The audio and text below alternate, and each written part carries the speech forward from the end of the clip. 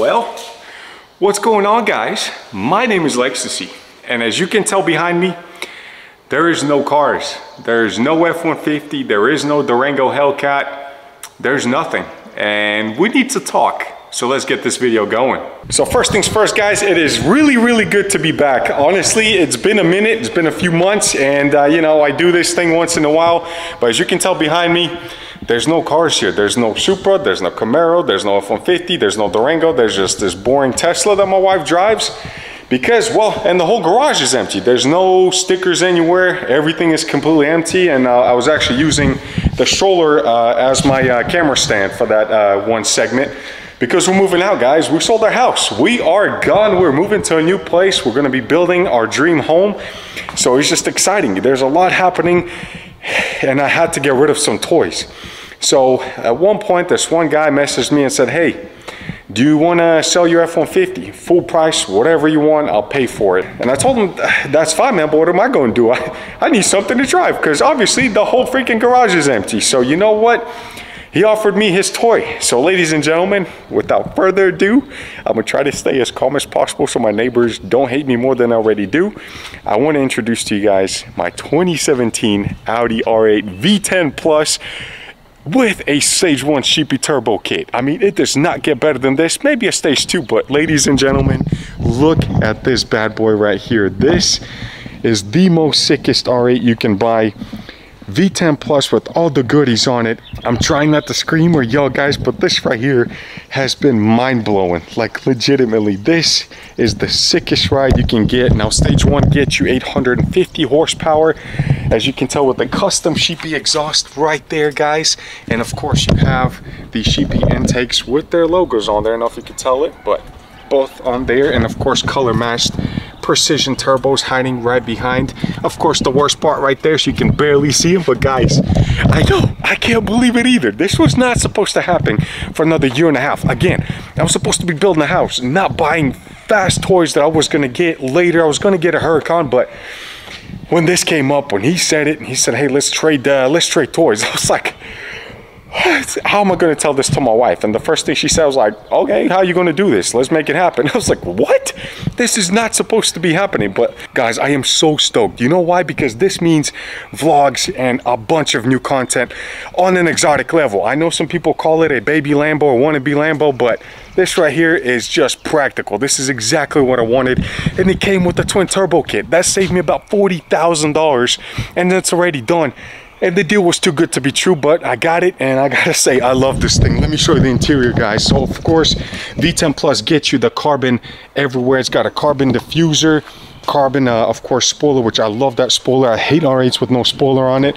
It's got the uh, carbon front lip on it. And of course carbon ceramic brakes. So those are expensive. I don't want to know how much it is to fix those or replace those. Carbon mirrors of course. And oh, the best part right here and the reason i fell in love with this car is that red interior with the quilted stitched seats and of course uh, alcantara roof. I mean this thing is so sick. It was so hard to get used to not having a screen there because everything everything's just on a digital screen. This bad boy right here is insane. I already drove it for about a week and I gotta say, I, I can't stop loving this thing. The, the sounds you're gonna hear with me, the spooling of the turbos is just amazing. So with the Sheepey Stage 1 kit, you also get a water to air uh, tank for the intercoolers. So this thing is awesome. It's already, it's it's done right. I mean, honestly, even's got a drain uh, plug there to drain the water and put some ice in there if you needed to it's awesome. Now you don't have any space but let's be honest. You never had uh, space in the r8 anyway so let's move on to the back and of course the really good goodies the ones that everybody wants to see. And to do that this part i hate on the r8s but you have to literally walk in here. Gotta touch the button gotta get the ignition going then press the secret button right there and boom it comes up. And now we're gonna take a look at what make this bad boy such a bad boy. First off, I love the attention to detail, the lights in the engine bay, of course the uh, carbon covers and trim pieces everywhere.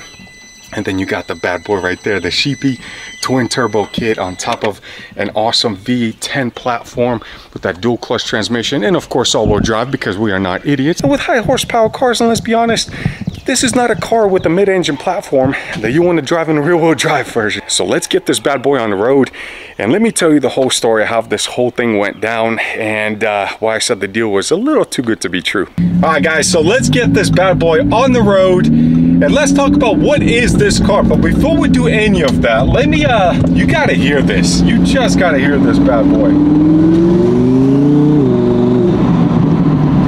It just sounds so freaking good, man. This, like V10 overall just sounds amazing, but you add the turbo sounds to it, watch. Let me, uh, let me get a little spool up going here. I love this thing. I love it so much. There is no like babying this car. Like it just drives so freaking good and it sounds so amazing that you want to get on it. You really, really do. So let's talk about what is this car. What is an Audi R8? Some people call it the baby Lambo. I call it a practical Lambo. So what do I mean by that, as somebody that looked at Huracans and owning one of them, because this is exactly what this platform is. It's the same car for about half the price. This vehicle, 2017 Audi R8 V10 Plus all-wheel drive sticker for around around, I think 220. But for the money, this thing is just so much better because you're not paying the Lambo taxes, but you're getting the same naturally aspirated 5.2 liter V10 that puts out 560 horsepower. Wait, downshift on its own. I'm not doing anything, but this car's so smart it does it for you. Sorry, let's keep on talking. So from factory, this car is 560 horsepower, all-wheel drive, does about 3.5 seconds 0 to 60. This was seven years ago. But the V10 Plus version, which is what this car is, also gets you an additional 60 horsepower, which puts it at 610 horsepower from factory. And it does 0 to 60 at 2.9 seconds. Now, some independent reviewers, when this car first came out and did videos on it, they got it down as low as 2.6 seconds. For a $200,000 mark, not a lot of cars seven years ago could say that they're able to achieve such fast 0 to 60s. Now, I know a lot of people in the world of exotics and high horsepower cars like these talk about the 60 to 130, which is something I haven't been able to test out on this car yet, but I definitely should and I definitely will. So, from factory, this thing is a beast. It sounds amazing. But you know that this thing ain't stock, guys. Come on, you know there's stuff done to it. So let's talk about what's done to this bad boy. Now, for a lot of you guys on the West Coast, I'm pretty sure you've heard of Sheepey Race. You know who that is. And I have been following them for about last three to four years, just finding them on YouTube and uh, through friends that always talk about this company. So for you guys on the West Coast, correct me if I'm wrong, Sheepey and Gintani are known for messing with these V10s, R8s. Uh, of course, you got VF Engineer, but that's for superchargers. But for twin turbo kids, it's Gintani and Sheepey Race or whatever they were called back then. I don't remember the exact name. I feel like they changed. I think it was just Sheepey. But this has their stage one kit, which is about $38,000. It has also the precision turbos, which is what they used to put back in the day. They switched to Garrett's because precisions are really hard to replace or find on the market these days, just like any turbos for that matter. But this bumps it from 610 horsepower to 800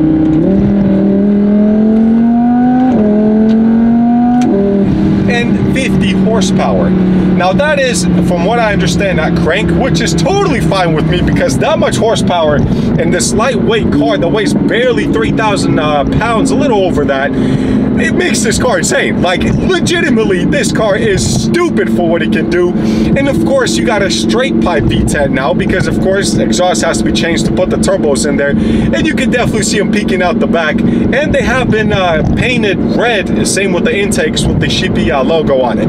It's like the perfect icing on the cake, the perfect cherry on top of the icing on the cake. This car attracts so much attention. It is insane. Now, for anybody that has had a V10, R8, Lamborghini, any car with a dual clutch transmission, including GTRs, you know what I'm talking about when I say you can't really do dig racing on these cars without doing the proper modifications. So even though this has a stage one kit on it, the first thing they tell you is you cannot, and I repeat, you cannot do dig races. You can't do drag racing on this thing, and you cannot be launching in first, second gear. You just can't do that because the clutches, the clutch pack, and the first, second gears in the transmission are not really designed to handle that much extra torque slash wheel horsepower. So that's the first thing you learn, and that's the first thing that uh, I was told by Alex, who works at Sheepey Race. In fact, he owns Sheepey Race. And I gotta say, what I really truly enjoy and respect Alex for, I reached out to him as soon as I got the car, but I was like, hey man, no idea what I'm getting myself into, but I know this is not fixing a, a Camaro ZL1 or a Supra. This is fixing if something goes wrong in exotic at this point. So I'm gonna pay exotic prices. So let's do this the correct way. You know what? Instantly responded to me on Instagram. He doesn't know me. All I said was, hey, I just bought a car off of a guy that has your kid on it. What do I need to know? I'm talking within minutes, he already responded. And that's why that dude, there's like, he, I respect the crap out of him. I obviously will go through him directly for this build for anything that needs to be done and everything that we will be doing to this car whether we wanted to do it this early or not we have to do it and I'll explain that in a little while but Alex at Sheepey Race brother you got my business for a very long time but anyways because of the clutch pack being so brittle on this you do have to upgrade that anytime you even consider doing any sort of drag racing or even low speed roll racing. So good thing for me I'm not planning to be on the drag race uh, track anytime soon. I am uh, planning to do some roll racing in Mexico of course when I travel across the border and do that. Third gear should get me well let's see if I put in third gear right now 4500 RPM and I'm coasting at 45 miles an hour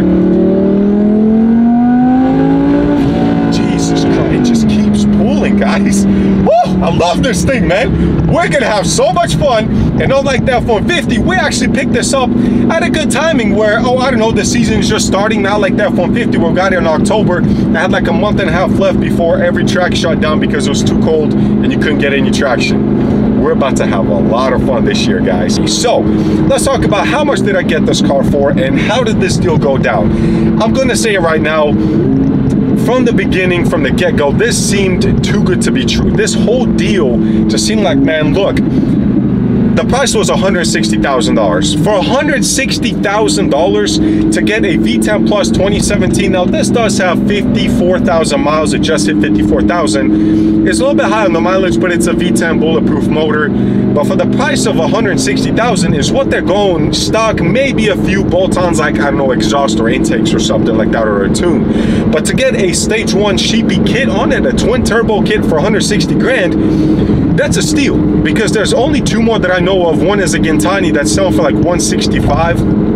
It's got about 20,000 miles less than this car, uh, but it just seemed like a really good deal, man. And so what ended up happening, we still have the Durango, don't get me wrong, but I did have it posted up for sale. And so the guy reached out through so many shares for the Durango. And when I had the F-150 posted up for sale, he said, hey man, I want the Durango. I have a twin turbo R8 for, uh, for a trade. Are you interested? I was like, uh, you know, not really in the perfect opportunity because I'm about to sell my house. I need to focus on getting another house. I can't be doing $160,000 purchases right now. It's just not the right move for me.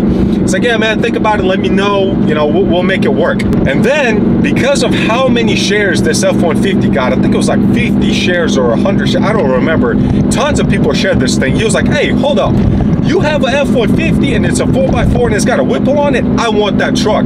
I'll do anything. I'll pay your asking price. Here's my R8. Let's make this happen. I was like, all right. Now it's a little worse because now I'm going from $60,000 investment to $160,000 investment. But I was thinking about it and it just seemed like, you know what? Screw it, man. I'm really coming out in a good position with the value of the R8s compared to what's done to it with the modifications. I'm going to bite the bullet. I'm just going to do it. It's, it is what it is. Seems like a good deal. I'm going to get a PPI done, pre-purchase inspection, if it checks out, because he's all the way in Salt Lake City, Utah. This transaction is going to be a little tough to do. Uh, from the get-go, this thing has been a nightmare, but we got it figured out. Everything worked out. We both have our vehicles. I'm obviously driving uh, my new one. He's driving F-150. He's already racing it. And in fact, he won a race four hours after he got the truck there. He already took it to the drag strip and beat like two different classes, which is awesome. Good thing for him. He's going to enjoy it. I'm going to enjoy this bad boy right here. Super stoked. Can't stop getting on the gas pedal. That's why I'm getting like 11 miles a gallon. It is what it is. You know, you kind of expect that to happen, but it's just, it's worth it, man. People just always stare at you in this car. And that's not why I got it, but it just sounds so. And the crackle is just, I can't get enough of this car. Let's drive it for a little bit more. And then we're gonna pull over and talk about the things that went wrong with this deal. So now that we finally got the test drive out of the way and you guys got to experience it with me, and you know exactly what I say, this thing is just such a freaking beast and I'm super excited that we're able to bring it to the channel today. Uh, but let's talk about why did I say that this deal, and I still believe this deal is too good to be true. Well, let's go over some things, right? So remember how I said that the 160,000, you could pretty much get like a, a base V10 R8 or V10 Plus for that matter for about 150, maybe 140s if you get lucky, but 160 was just, it was a good spot, good sweet spot for a stock R8. We're looking at one with the stage one sheepey built kit on it. So that should have been the first part that should have threw me off as to why, I'm not gonna mention any names, why this guy decided to sell it to me for that price and trade me for the truck there is a list of thousands of dollars of things that uh, I was not aware of or told about uh, that this car has in a bunch of issues. Now, some of these are minor issues, some of these are major issues. Now, you're gonna say, Alex, how the heck did you buy a $160,000 exotic car and not do a PPI inspection or pre-purchase inspection? Oh, believe me, I did. Because I was like, look, man, I'm not buying this car. I'm not taking a loan out from the bank for this car without making sure this thing is 100% running. Now, I understand it's modified. I understand that that could be oil leaks. There could be some vacuum leaks, maybe a boost leak or something like that. So my buddy recommended a performance shop there eh, directly in Salt Lake City that specializes in building high performance vehicles. So I was like, man, forget the uh, Audi dealership. I'm going to take it directly there because at least they're going to know what they're looking at. So I took it to that place and uh, you know what? They drove it. They checked under the car. They checked the brakes, which these are carbon ceramic. So obviously uh, you can't really check them. You have to put them on the scale to make sure that they uh, measure out in weight correctly. I'm talking about the rotors, of course. And everything checked out. They even sent me a text message said, hey man, we drove the car. We looked at the car. It's, everything sounded perfect. The car runs like crazy good. You will have no issues whatsoever with this car. I was like, great. And then I get the car and literally if anybody could have just drove the car they would have noticed at least three of the issues out of five or six this car has. And these issues that are going to cost me thousands of dollars to fix which we're going to talk about in the next video. Now am i still happy? Of course i'm happy. Am i kind of pissed off? I am but at myself because at the end of the day i should have done the work. I should have done my due diligence and made sure that this car is in the spec and the condition that i was told it was but unfortunately it's not. So we are going to deal with those. I'm going to go over the whole list of issues. Now one more thing i got to mention before we end this video. A mutual friend of me and the seller uh, reached out to me after he seen that i was the one that purchased this car. I was like hey man this might be the same car that i was told about that has a major issue so if that is true i am literally going to be probably minimum of another twenty thousand dollars in debt to get this thing repaired and running correctly we won't know that till next video don't get me wrong guys i'm super happy I'm not trying to downsize or uh, be depressed about the situation. This is an exotic car. This is like my dream come true. I wasn't supposed to have this for at least another year and a half, maybe two years. But at the end of the day, it happened. Everything happens for a reason. And now we are to get to enjoy it. We're to enjoy it uh, doing a lot of road racing, you know, at the track and stuff like that.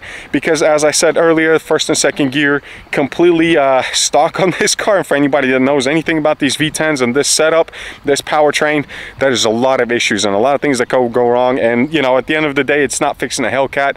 This is fixing an exotic, which, you know, you will pay the exotic prices. So there's so much to go over with you guys. I just can't stop looking at it. I just got to show you. Look at this, man there's just no bad angle on this car whatsoever. That spoiler everything about this car just screams exotic. And when you start that bad boy up obviously it reminds you of what you're looking at and what you're dealing with guys. I am super stoked to have this on the channel. I hope you guys are as well. Drop a like drop a comment. What do you think of the r8s yes i know it's not a lambo. Everybody's gonna say it. I just didn't want to pay the lambo tax on it for no apparent reason plus this thing is a lot more comfortable to drive daily which of course i am going to be doing. So thank you guys so much for watching. Enjoy your life. Enjoy your cars. And i will see you in the next episode. Peace